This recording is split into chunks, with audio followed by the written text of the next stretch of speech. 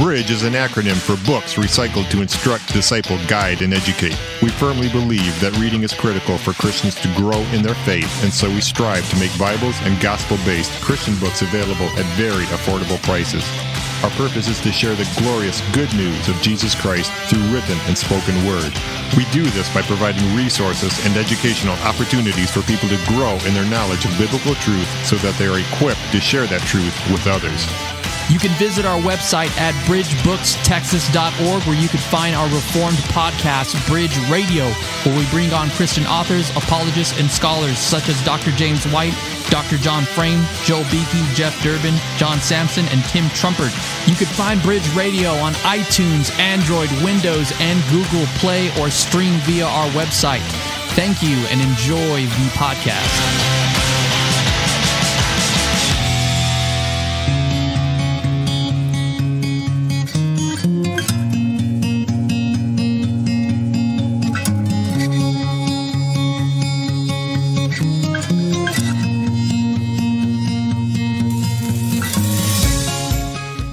For since the creation of the world, God's invisible qualities, his eternal power and divine nature have been clearly seen, being understood from what has been made, so that people are without excuse. Romans 1, verses 20, one of my favorite verses in the entire Bible. Oh, yeah. And welcome back to another episode of Bridge Radio, coming at you from the great state of Texas. Texas. Uh oh, as always, the AW sitting right across from me and to the right of me. Who do we have here? We have Steve. the got Steve. How you doing? The whole the, the boss of this whole shebang, and uh, we're here proclaiming the gospel fearlessly and faithfully. As always, I am your host Julio Mad Rodriguez, and uh, today we got another excellent episode for you. We're continuing God's crime scene. Uh, we had a, our, our guest on uh, episode 18. He's the author of a book titled God's Crime Scene, and and and not only does he appear on episode 18, but he also appears on our episode number two, and that was on uh, Cold Case Christianity, his that's book about the resurrection. Excellent podcast. It's definitely one of our most listened to, and uh, Yeah. and so we're continuing uh, not only having him on the show, but as well uh, continuing the series, um, just because I, I really, really thoroughly enjoy his book. Last time we talked about causation, talked about DNA as well, the complexity of DNA as an evidence for the existence of God, and uh, today we're going to be talking about design. So I'm super, super excited. But uh, let me uh, first wait, and I'll introduce our guests in a little bit. But if you're a new listener, please subscribe. Uh, we're on all platforms that you get your podcasts on iTunes, Android, Windows, Google Play, and we are also excited to actually have the Bridge app finally. It's here. It's it's here. It is finally here. I It's know I've mentioned it so many times, but it's finally here. And uh, Steve, you want to take it away? Just let let our listeners know about the app. we got so much for you guys to check out on the app. We got uh, our current events are on there. So if you want to know what's going on at Bridge, just check it out. We got a calendar. You can uh, see what's going on month by month, week by week. We have Bible studies on there, and you can register for Bible studies actually through the app. You, you can, can. see a description of a full description of what we've got going on. We've got sermons, lots of uh, Yes. reformed, expository, experiential sermons on there now. So uh, we've got like Trumper, we've got uh, John Samson. Samson, yeah. Samson, yeah. We got Expository sermons through entire books of the Bible. Our, our goal is to put up the whole entire New Testament. So right now we got Ephesians, Mark, John. Uh, oh yeah, and the Book of John is done by uh, the Response Church out in San Diego. Yeah, they right. did a whole seventy-two series expository sermons through the book, the Gospel of John. So yeah, A lot to listen to there. We got articles, we've got book reviews, statement of faith, and last but not least, our podcast. So Yeah.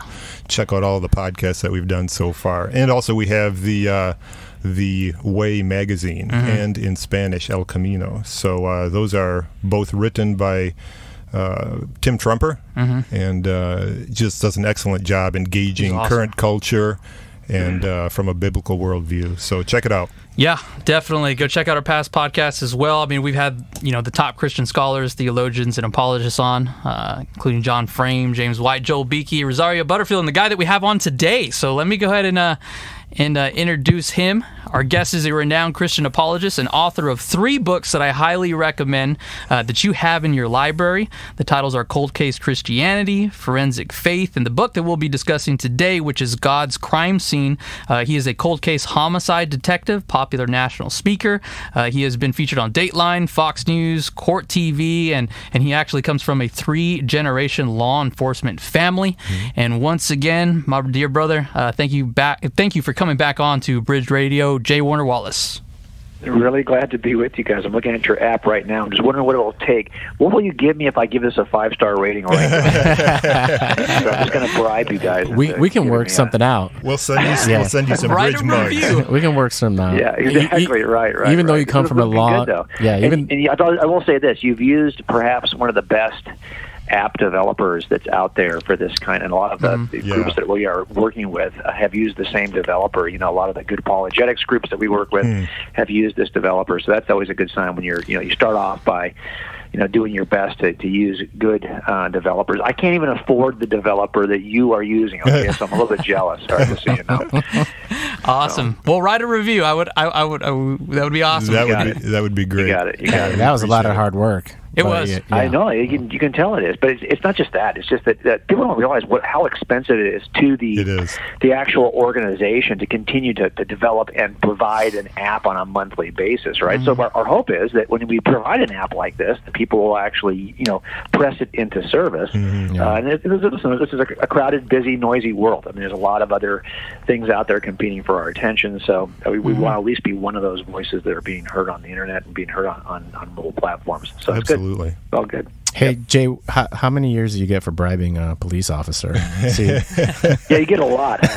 but, then, but then remember, you only get a lot if you get caught doing it. So oh, okay. okay. okay. All right. We'll be sure after this podcast we'll, we'll go ahead and hand you. All right. Well, you're not a police officer anymore, right? so it doesn't count. Yeah. Well, okay, yeah. yeah. exactly. Unfortunately, though, I'm part of this this three generation family. Yeah, I got a reputation to work on cases, so so I have to uh, uphold the standard. You know. So. Right. Right. Right. So so how has it been since the last time we've uh, we've spoken with you since you were on the program. Uh, anything new? Yeah. Well, you know, we're working on a new book with uh, Sean McDowell, uh, nice. which is really focused on how to teach uh, worldview and, and, Christian apologetics to Gen Z, which are our high schoolers right now. Mm-hmm. Um, and so this has been, you know, a fun project. We're, we're back and forth every day working on chapters. So it'll come out next year, and that's what we're working on right now. Mm-hmm. Um, but in the meantime, it's just, you know, you have a, you have a speaking schedule, and you're trying to trying to you know do all the things. And there's a couple of cases I still want to finish at work, so I've got to you know kind of balance. Spinning a lot of plates. Let's put it that way. Hmm. Spinning a lot of plates, but it's uh, all good. Exciting. You can do it. You can do it. All right, guys. So let's go ahead and jump into the topic of today. Um, like I said, I really highly recommend for um, those of you who don't know J. Warner Wallace to go you know check out some of his lectures, his uh, his his uh, his books, uh, yes. uh, Cold Case Christianity, Forensic Faith, and definitely the book that we're going to be discussing today, God's Crime Scene, and we're going to be talking about design specifically. Yeah. Uh, so, Jim, in chapter four of your book, you begin with a story of a criminal who used an instrument he created for the murder of his ex girlfriend, uh, known as a garrote. I think I'm pronouncing it right, but uh, quickly tell us about the story, and more importantly, how can we use this story as a springboard for evidence of an intelligent designer? Well, it, uh, it's called a garrote, by the way, but it's a strangulation device. So it was left at the mm. crime scene. And, and look, a lot of what we do uh, when we talk about what is the cause, we, we walk into a room, we're not sure if it's just a death, a natural death, an accidental, a suicide, or a homicide. We're trying to figure out, you know, is there any evidence at the scene that'll define this, that will give us an idea that the cause is in fact a personal cause other than the victim. So, so we're looking for things like that. So imagine just make it simpler, because a lot of your audience probably doesn't know what a garrote looks like. Uh-huh. But what if I just found um, uh, the, next to a, uh, the body, I found a, a, a stick, but the stick had been sharpened in a way at the at one end, uh, and you could see the knife marks on the stick that, that actually were used to sharpen the stick. And of course, it's covered in blood and it's sitting next to the body. Now the question is, should I look at that stick and, and, and consider it a designed weapon. Because you know you could argue that if, if let's say it happens outside, there's lots of sticks outside. It could just be a stick. He could have fallen accidentally on the stick, right? I mean, mm-hmm. but, the, but the question is: Is there anything about the stick itself that tells us this is just a, not an artifact of nature or an accident?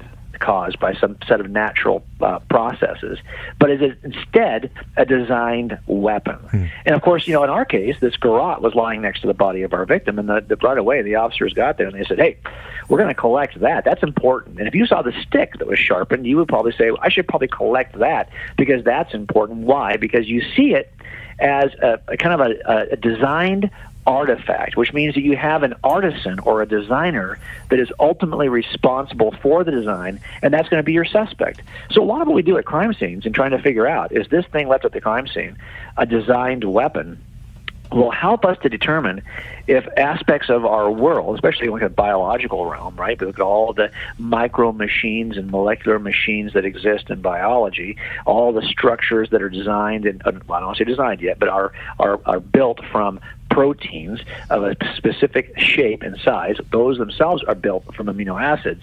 And how these proteins come together like Legos to build these little molecular machines, we've got to make a decision.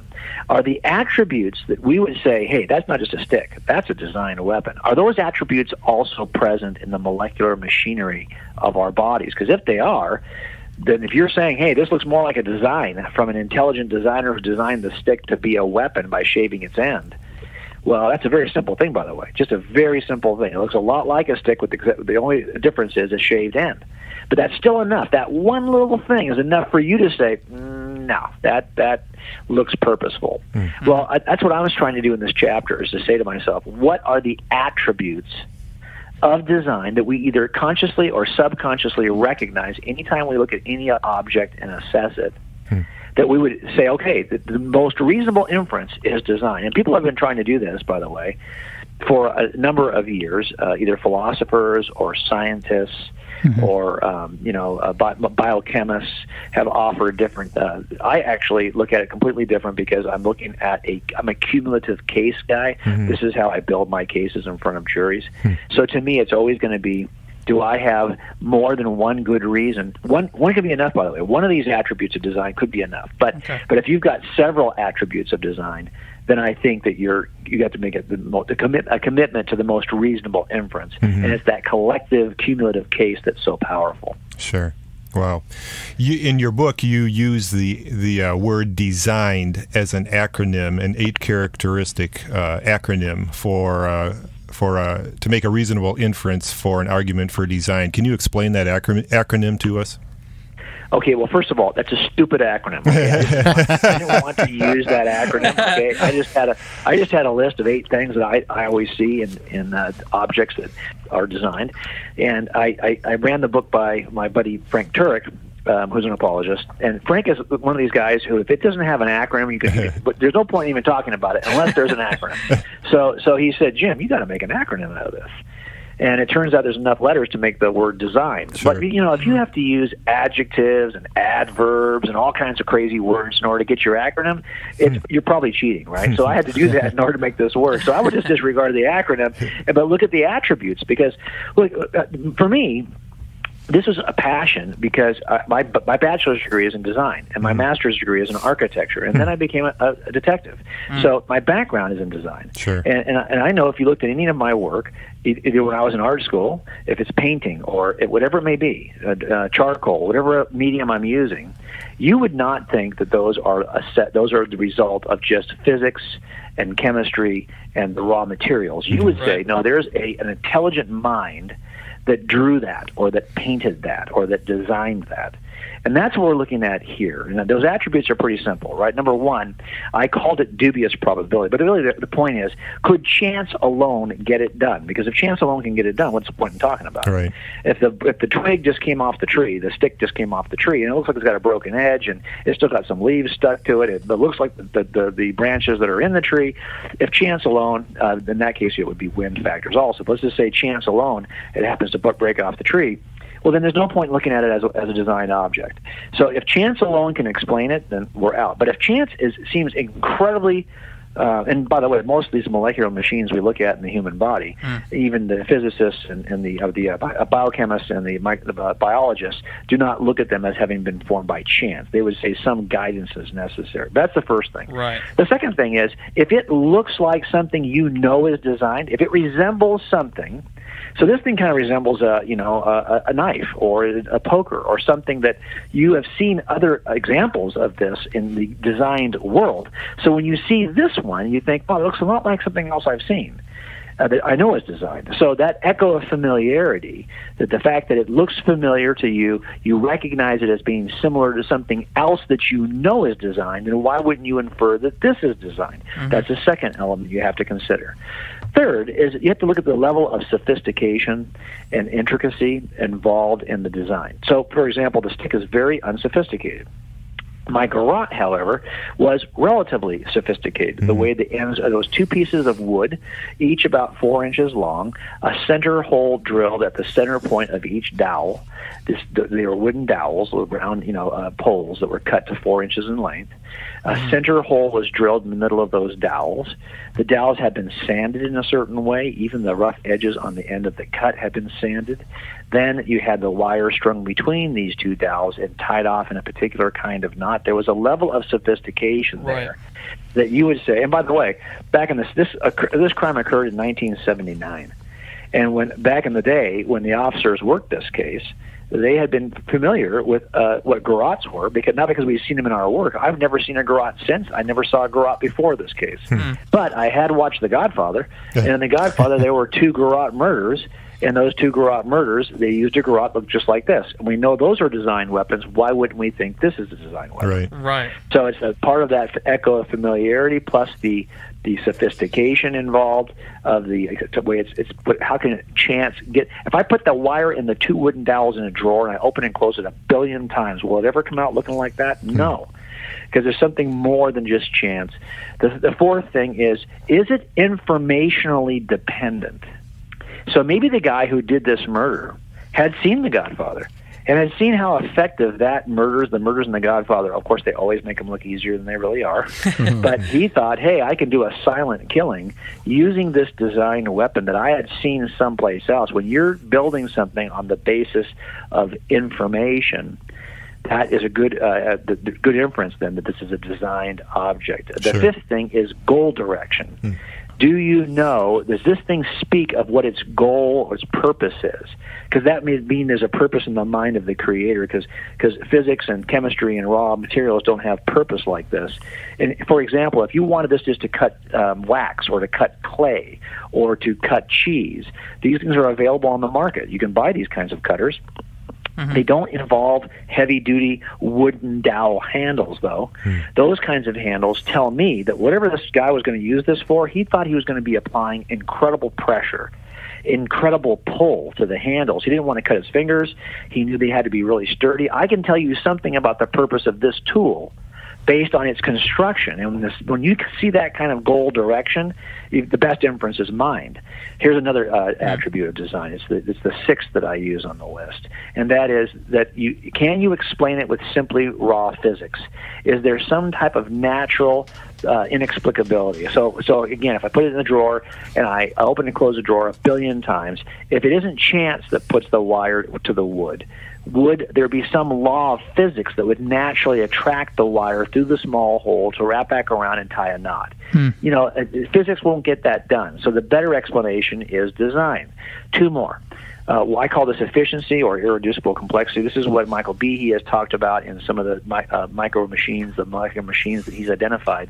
This idea that if you have to have a series of elements together in a particular shape or in a particular relationship before the object is functional, well, that's very hard to explain under an evolutionary model because evolution says we have one mutation. If the mutation benefits the organism, it's passed on to its offspring. We have more of these in the environment, and it's one mutation at a time that complex structures are built.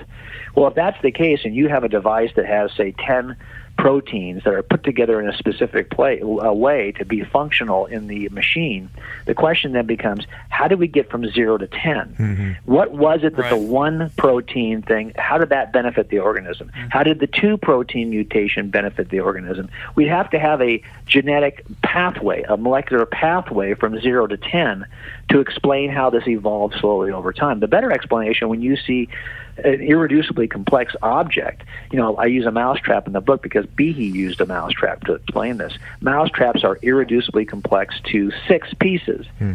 That's hard to explain unless somebody is there as a designer to put all six pieces together in that way. Last thing, of course, is do is there any sense in which this uh, this object was used as a matter of choice? In my crime scene, it's clear where she, where my victim lived, she was right across a, a very thin wall of, of, of drywall from two other tenants. And our killer did not want to wake up the other tenants, which is why he thought this device would get the job done quietly. He could have stabbed her. He could have shot her. He could have done a number, number of other things that would have caused either her to scream or caused a lot of noise in the room. Right. None of which he wanted. He want. It's clear this choice he was using here. He chose this unusual device because it was the one device he thought was appropriate for the setting. When you have a clear expression of decision making, you have a good inference that a designer is involved. Okay, so here's my point.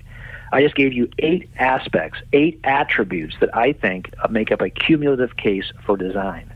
And that's why when we see an object at a crime scene, and a lot of us are just doing this unconsciously, we are assessing it under these. I can't think of a ninth attribute of design.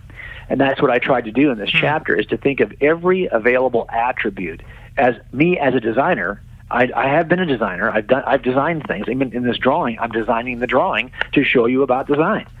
So, so these are all my drawings. So, so the the, the, the point is, what is it that is, is is native, that is obvious about design, and then could we apply this to biological structures? And if we did, would we have good reason to believe they're designed? Mm-hmm. Now, there's different styles of garrotes. Is that true? Um, I, am just uh, I know that the yes. there's different types have really long wood, wooden handles so that you can get the leverage on there to twist it because of the and there's one in, that goes from the back and also the front. I didn't. I, I was just curious. Yeah. I was just curious because it's just an interesting piece of. Uh, yeah, no, there are, and as a matter of fact, uh, I will tell you that this just on an aside my killer in this case built a very unusual garrote that gave him away. And here's why I mean I say that because he used a, a wooden dowel that used to be blue. We found microscopic specks of blue paint in the wooden dowel. He had hmm. he had uh, um, sanded them off so that so you couldn't see that the, the blue paint was there. Mm-hmm. Maybe he thought it would eventually come back to a source, and he didn't want the source being identified. Mm. So he tried to sand off all the paint.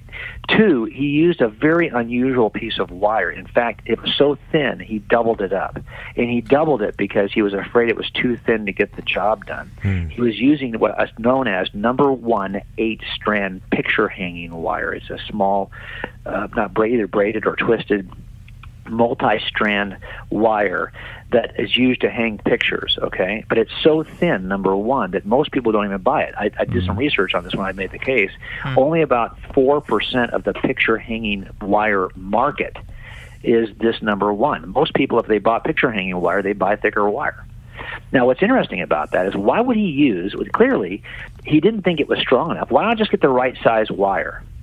Why not just start off with a dowel that's that's not got blue paint on it? Well, that told me something. That told me that this guy, and this is unsolved for 35 years. This guy, this guy was using what was available to him. Because mm-hmm. clearly, if he was going to go out and buy something from scratch, he just would have bought an unpainted dowel, and he would have bought the right size wire. But you know, he decided to use something he had access to. It wasn't perfect, so he doubled it up. Now that tells me, okay, so I want to know one thing: where's this guy living at the time of the murder? Because whatever he, wherever he's living, that's where these materials came from. Because he's just using what he has access to. Hmm. He's not going out and buying this from scratch, or he buys something different. Right. So I went back and did a search warrant on his mother's house, hmm. where he was living in 1979 at the time of the crime. He was 27 years old at the time. And what do I find there? I find that she is a painter. She's been painting for 40 years. And what do you think she hangs her pictures with? Hmm. doubled up number one strand picture hanging wire. Why she picked that, I don't know. and what does she use to, to lock up her sliding glass doors?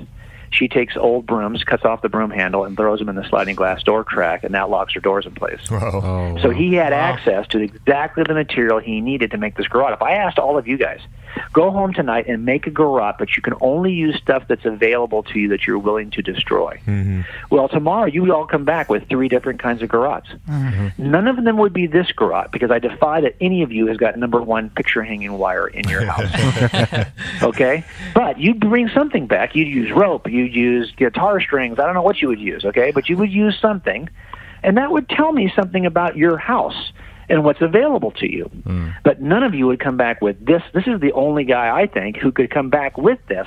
He's one of a rare few who had access to the right material. So yeah, that that was part of how we solved the case. And the only reason why I asked Jay is that we see this guy. He's designing something for a specific purpose, and that's why I wanted to yep. tie back to that. Right. What you were just talking about is like this guy yes, was specific yep. in what he wanted to do, and it just didn't just happen. Mm-hmm. mm-hmm. Right. Yeah. So this is a good example of, of, of choice reflection. He's he had choices for even how he would build the garage. And all of those tell us something about the. Whenever when they speak, they scream designer, and they yeah. even tell us something about the designer. Sure. So then, if you turn a corner and you say, "Okay, what if we applied this to other things in our quote unquote natural environment. Like, for example, in the book, I offer the example of a, a bird's nest. What if we just said, okay, uh, you look at a bird's nest. How do you know that intelligent birds uh, design that nest? Why wouldn't you believe that the wind just blew this in place? Well, it right. just applied this template we just talked about. This will give you, and you might even say that some of the pieces of the template don't seem obvious to you. Like maybe let's say irreducible complexity. What is irreducibly complex about a bird's nest? Well, if you don't think that they're there, throw them out. You don't need all eight things to infer design. Are you going to say because you don't see a couple of these attributes, this is no longer designed by a bird? Mm-hmm. No, I think you're going to say it's still designed by a bird, even though I can only find four, five, six of the attributes we've just described. Right. Now, when we turn the corner and we go to what Michael Behe has kind of made as the poster child for the entire ID movement and intelligent design movement, he pointed out over 20 years ago this little molecular motor in bacteria that's called a flagellum motor, mm. and it's basically a rotary engine. Okay, that is a, a motorized. It is the the rotor is twisted by an electrical charge in a bunch of proteins that circle the base of the rotor. Hmm. And if you look at it, you just think to yourself, how in the world could we not infer design from this? Yeah. All of the attributes we've just talked about are present in that bacterial uh, that little motor. As a matter of fact, it looks just like rotary engines that we have been building for years. Mm. And we didn't even discover this bacterial flagellum until years after we were building those rotary engines. We didn't steal that design from the bacteria. Wow. That design uh, we were using un, uh, unknown to, to, that it actually existed for years before we ever discovered it. So it was only discovered in the 70s. So I would say that if you look at those attributes we just talked about and you just applied them to several, you know, and, and Behe has done a great job. He's got a new book coming out, by the way, which is going to be even more awesome. But uh, he's a biochemist from Lehigh University, and he's super smart. And and people have tried to attack his inferences related to irreducible complexity in mm-hmm. the bacterial flagellum for 20 years. And when your when your argument stands after 20 years of assault, I think you've got a pretty good argument. Yeah. And I think right. now I've gone a little further because I don't think it's just irreducible complexity. I think it's the other seven things and irreducible complexity that tell me that that there's a great cumulative case for design in the bacterial flagellum. Yeah. Yeah. Do you have any more uh, examples of what cumulative case, uh, cumulative case uh, for intelligent uh, design, Jay? Well, what, and so Michael's got like you know blood clotting. There's a lot of system work also, which is much more difficult to illustrate. So I just used the one illustration. So a lot of times it's biological systems that are are, are irreducibly complex. That require. Look at it this way it's uh, there's always this chicken and egg problem. Let's just go back to the simplest of things. Mm-hmm. Um, your proteins in your body are the building blocks, the little building blocks uh, for every molecular machine from your cells in your cells. All these are built with proteins. Mm-hmm. Now, how do we get proteins? Well, proteins are built from amino acids, and where are they built? They're built in these little machines in your body called ribosomes. The ribosomes in your body they turn they, they take uh, the amino acids and construct them into proteins.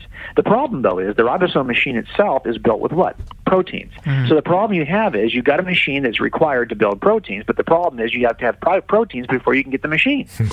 and and this is the, so you see these yeah. these things that just scream design right. um, in all biological structures. And the question is, you know, look, could I? Let me. I always put it this way: it's not as though there's not enough evidence to right. reasonably infer that God exists. There is. Mm-hmm. But there's also enough wiggle room for people to, to deny that God exists. And, and, and you'll, it takes a lot more complexity sometimes. The, the explanations, I think, are much less satisfying. But it's possible to construct an entirely naturalistic explanation. I just don't think it works. But people do it all the time. Now, why would God not be more obvious? Well, this is how every criminal case I've ever worked has gone. And yes, there's mm-hmm. more than enough a reason to infer that this is true, and you can render a verdict. But but there's also enough wiggle room that if I don't, and this is why the most important thing you do in jury trials is select your jury. The reason why that's so important is is if you put somebody in there who's already convinced of an answer, they don't want anything else to be true, then they will find that area of wiggle room and they will stand on it and they will never agree with the other jurors because they really should never have been on that jury to begin with. Mm-hmm. And that's what both sides try to do is make sure we don't impanel anyone who's already convinced of one side or the other before we start. Mm. We want people who are open at least and who are willing to lay down their biases. And I think the same thing is true here.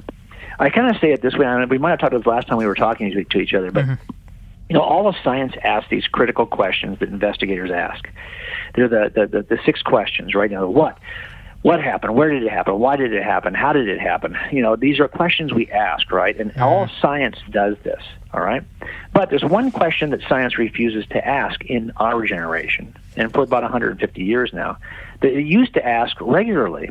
So you can ask what, why, when, how, where. Those five questions you could ask those all day long. But until you ask, you nobody will go to jail. By the way, on any homicide I've worked, if all I do is ask the what, why, when, how, and where questions, hmm. I have to ask eventually a who question. Who did it? Now, what science has said is that we, we, we rule out who questions. We don't ask those kinds of questions. Mm. There is no who in the natural realm. Right. There's just what's. Yeah. And how's. So, so, but, but, but what if all the, what if all the evidence though points to mind, or points to design, or points to information and intelligence? What do we do then?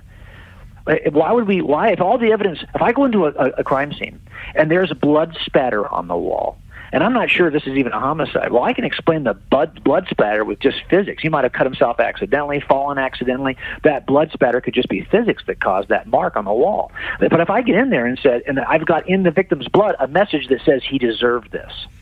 Yeah. Well, now the, the best inference is I got a who. I, I mean, physics can't explain that sentence.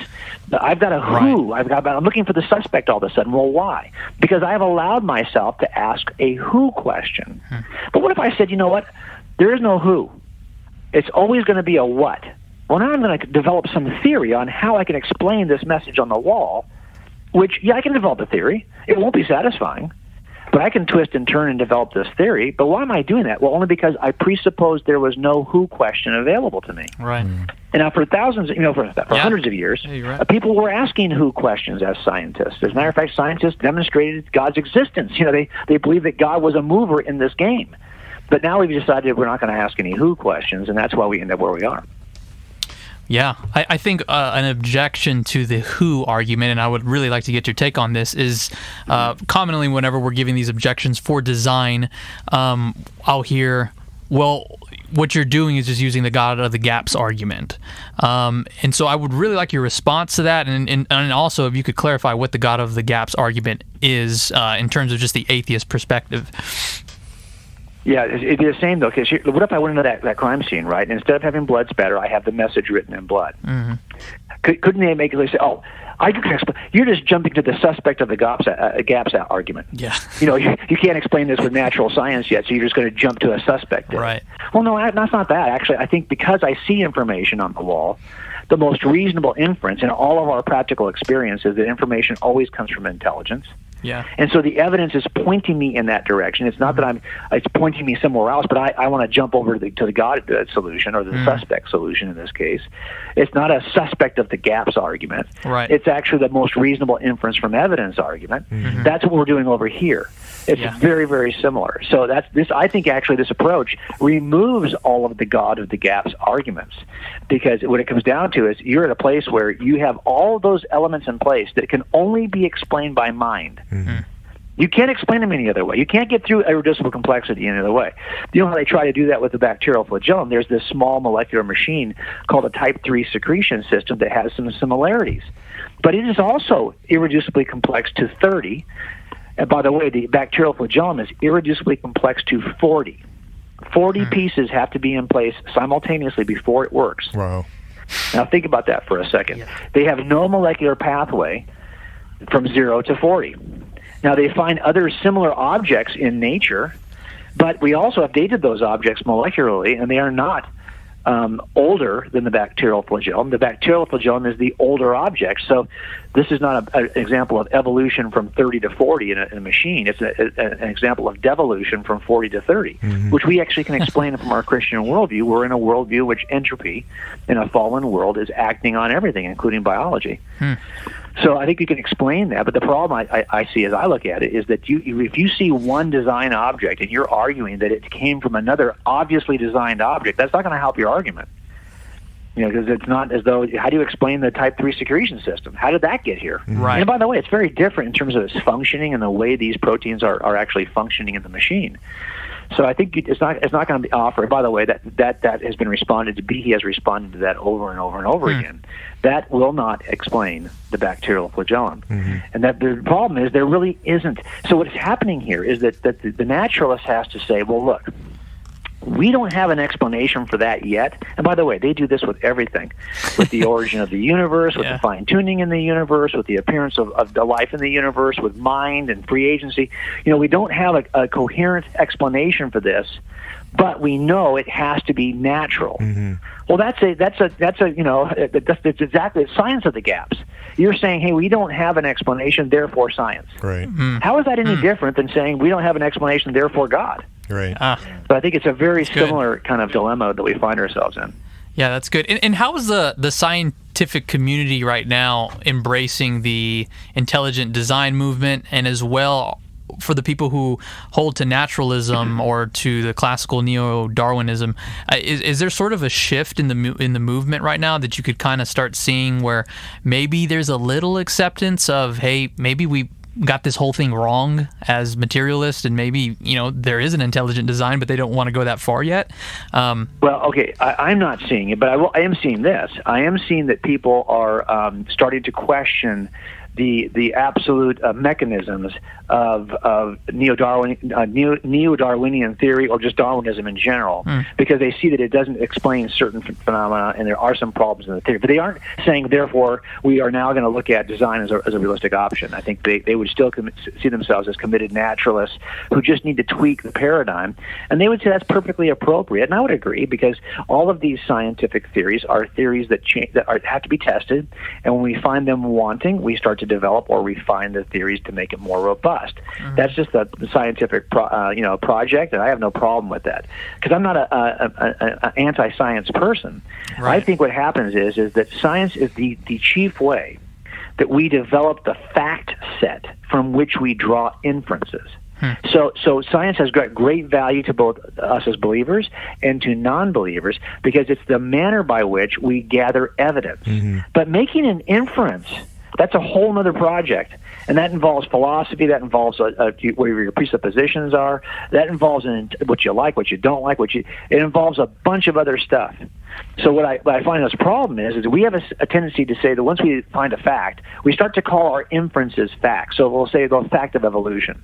Well, mm-hmm. even if evolution is true, I'm not saying it is, but even if it was true, it wouldn't be the fact of evolution. It would be the inference from facts. Mm-hmm. Uh, uh, the, the, theory is an inference from the facts we develop. Now, I'm looking at the exact same facts. I think there's a better inference. Mm-hmm. But we're both looking at a set of facts, and then from those facts, we're drawing an inference. But don't confuse these two things. Mm-hmm. The facts are just the data we develop by doing good science. But how we interpret the facts. So science doesn't say anything, scientists do. And right. so remember that because the science might tell you something that I, I look at that inference and I go, no, I don't think. By the way, this happens at every jury trial.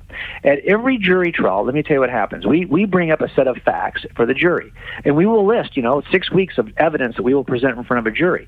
When the defense gets their turn, they don't present another six weeks worth of evidence. They don't pre- usually present any new evidence. Instead, they produce new experts hmm. who draw different inferences from the evidence the jury's already seen. Hmm.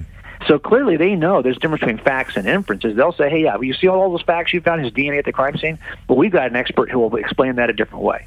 Hmm. And so jurors then have to kind of adjudicate between the experts. Which expert do we trust? Right. We see the facts. Everyone agrees the facts are in there. They're already settled. Okay, fine. Now the question is, which inference is better? And that's what we do as jurors all the time. And guess who's in the jury pool? It's just regular folks like you and me. There's no reason to think you are not smart enough even though you're not an expert. Trust me, we don't put experts on our jury. We let experts testify, but then mm-hmm. regular folks, just regular jurors, get to decide which of these experts is crazy, which of these experts is, is telling us something true, and which is not. And that's it's okay to, to be able to do that. And by the way, we are fully capable of doing that.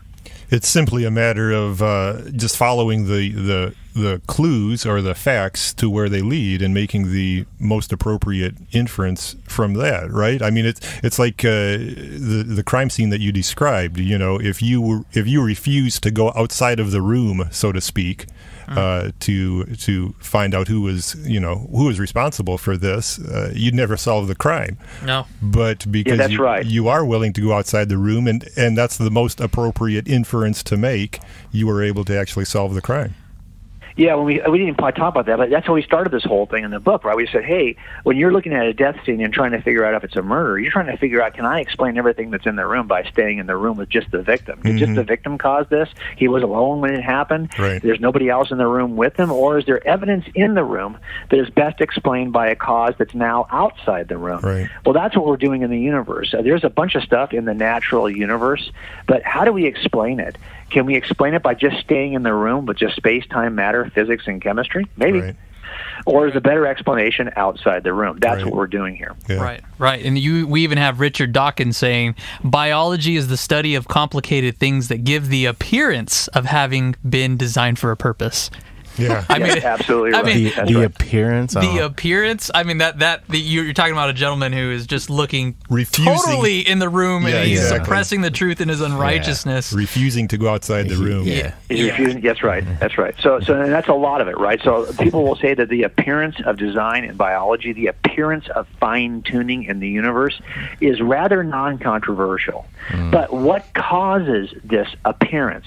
He, his argument is that something entirely natural something with nothing more than than time and uh, space, matter, uh, acted on by physics and chemistry, could eventually give you a what is it really a, not a true perception. It's, it's the appearance of design when in fact it's not that there's a watchmaker. He would say it's the blind watchmaker. Mm, yeah. It's that, that the natural processes end up always presenting us with things that have the false appearance of design.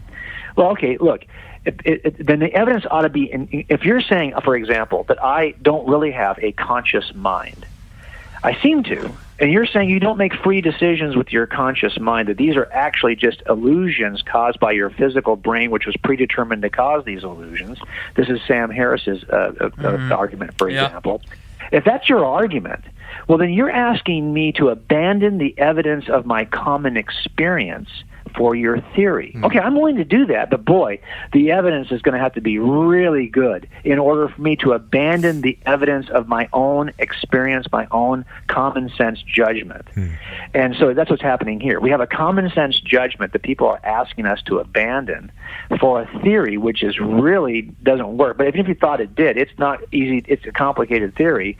But to be honest with you, it, it has lots of, of, of gaps you're going to have to jump across. Well, if you want me to embrace that theory, you're going to have to give me a lot more evidence than this. Yeah. Right, right. Oh, it, man. It appears like a hammer, but it's not a hammer right. that was used. That's right. Yeah, exactly. So if you know, if you know what a hammer looks like, and you're like going, "Dang, I got two nails laying next to it," that sure looks like a hammer to me. no, it's actually not. Okay, well then you have to make a case that it's going to be really strong in order for me to abandon my. Com- and by the way, you know what we do in jury trials? We don't have a complicated epistemological uh, system that we yeah. put in place, like like Bayesian logic or any kind of formula. We say, hey, plug in these data points, and then you do this calculus, and at the end, you're going to get a verdict. Instead, we have this crazy formula we give jurors. Here's what we tell them we say, juries, go back into the jury room and use your common sense. Hmm. Common sense is the only thing we ask jurors to use. No complicated formulas for knowing a certain fact, given all the possible potential, you know, potential uh, uh, um, answers to this problem. There's not a theory. There's not a, a, a calculus we can do in, that's in, in, formula form. It's just go back and use your common sense.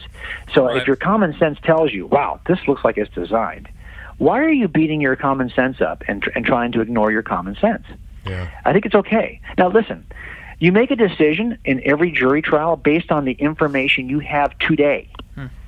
You can say, well, maybe maybe the science will change. Maybe it'll be another finding a year from. Okay, fine. You can change your mind later. But right now, everything seems to point to design. So in the moment right now, if you're on a jury, you're going to be asked to make the decision not not based on what evidence might appear five years from now. Right. That's what we have an appeals process for. Right. So so make the decision now based on the information you have now, and if that's the case, you're going to be stuck with with the inference for design. Yeah. Right. Right. Oh, what a great podcast this was! That was this, that was this was excellent. Very informative. Well, w- well, Jim, uh, we always like to uh, provide the opportunity for our guests to uh, share the gospel with our listeners, and uh, it would be an honor and privilege for you to do that, my brother.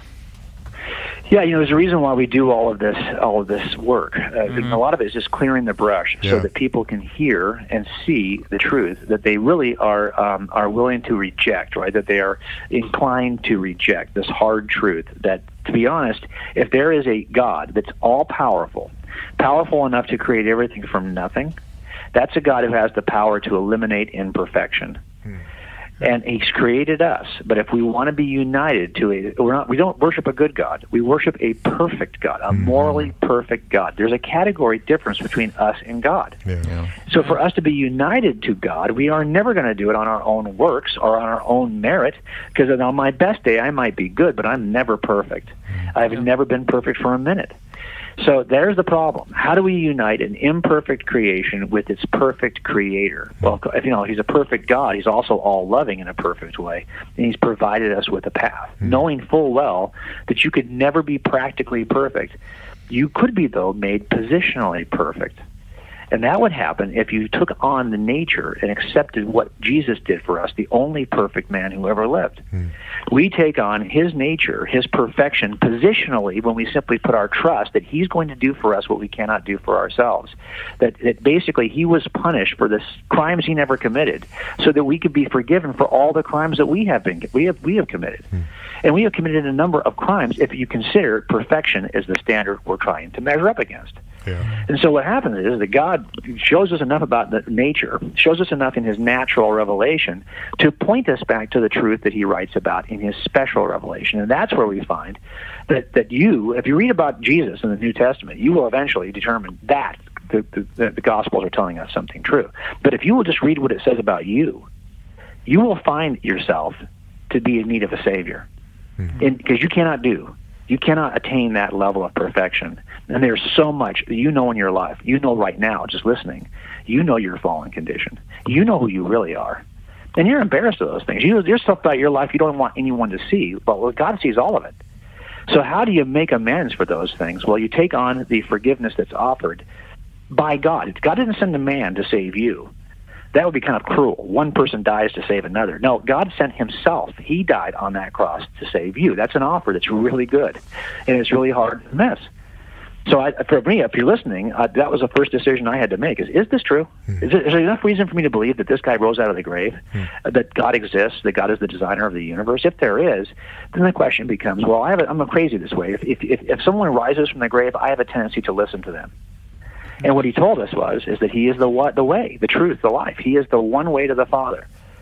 So I decided to put my trust that that, that God came and did something for me that I could never do for myself, because He cares enough for me. He came down and, and took on the form of a human, so that He could live that life in front of us. Send the beacon up. Tell us how to do it. Tell us tell us what is going to is required, and then die on that cross, paying the penalty for our sin. We get credit for that penalty if we simply put our trust in Christ. That's the gospel in a nutshell from a very uh, kind of unorthodox detective perspective. but my point is that that's really where I was at some point. I was I believed that it was true, and then I believe put my trust in it because I read number one, what does it say about Jesus? Checked all that out. Then number two, what does it say about me? And it was convicting. Yeah. Yeah. It was convicting. I defy anyone to read uh, Romans with an open uh, heart to their own condition and not be convicted by it. If you are convicted by that, go read First John. Right. If you're a Christian, go read First John. Yeah. So you're going to find yourself convicted on a daily basis that you are in need of the gospel, not just once, but for you know uh, every day. I need the gospel. I need the cross every day. Amen. Amen. Amen, amen. Well, Jim, it was a pleasure to have you back on again. You're always one of my favorite guests to bring on, and uh, you've been uh, just a, a blessing to this Amen. ministry. Yeah. Thanks, brother. I appreciate the opportunity as well. We'll do it again. I know we'll do it again. I'm looking forward to it. Oh yeah, of course, of course. And I just want to bring up too the fact that uh, these books that we're talking about on these podcasts are really available for children as well. You know, mm-hmm. so if you're you know somebody who's homeschooling or you know just want to provide with provide your children with the uh, the evidence for intelligent design. There are several books that are geared towards kids, and they're mm-hmm. excellent, By excellent resources. Well. Yeah. Yeah, that's been the, the, greatest joy for us, I think, honestly, is, is producing the kids' books because uh, just to see kids use them the way they have, oh sure. my gosh, yeah, who would have who would have guessed that would happen? But yeah, it's been a great joy for us. Good. Right, right. I actually just saw a video of our, our friend, and he actually came up to do a conference down here, Eric Hernandez, and I saw that yes. you you and him met, and uh, you actually he, he he was actually telling me that he was using uh, your book to uh, to uh, read to his daughter. They were reading it together and they were learning apologetics together, and that that's awesome. That's super cool to, to see. It's never too I know. It's a weird it's a weird idea that you can um, even do apologetics at a kid's level. There's a lot of us have tried to do that. Lee Strobel's written a number of great books as well, and what we try to do is write fiction that would keep them turning the page, and right. then the under the the substructure for that fiction is the the gospel and all the evidence for Christianity. So sure. we're trying to do two things. You know, number one, engage and entertain, mm. but at the same time educate, and that's the kind of the tricky balance we've been trying to do with our kids' books. That's awesome. Well, they're great. They're great, great books. All right, Thanks, ladies. Man. All right, ladies and gentlemen. Um, well, if you like this podcast, please subscribe. Uh, you could visit us at www.bridgebookstexas.org to find out more information about us. Uh, we would really like for you to prayerfully consider uh, giving and, and, donating to us and supporting us. Uh, you can find out more again on our website, and uh, we're just a ministry that is dedicated to discipling and equipping Christians and and what they believe and why they believe it. And uh, you know, your support really provides the ministry and allows us to, to do what we're doing right now, which is bringing on guests to do ministry work not only in our community but also out into the nations. And uh, we just greatly appreciate it. Please subscribe. Uh, next week we have the president of Reform Reformed Theological Seminary coming on, Dr. Ligon Duncan. He's going to come on and talk about covenant theology. And uh, we'll see you on the next one. As always, what is your only comfort in life and in death? That I am not my own, but belong body and soul in life and in death to my faithful Savior, Jesus Christ. Thank you. Amen. Later.